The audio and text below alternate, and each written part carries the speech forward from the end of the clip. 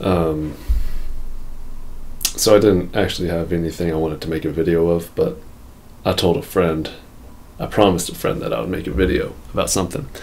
So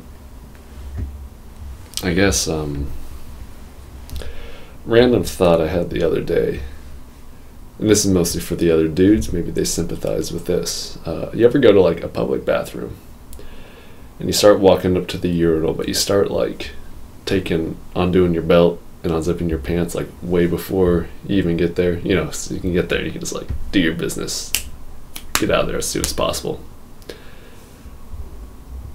Kind of occurred to me that like sometimes I start doing this way, way too early, and like my pants are basically halfway off by the time I get to the urinal.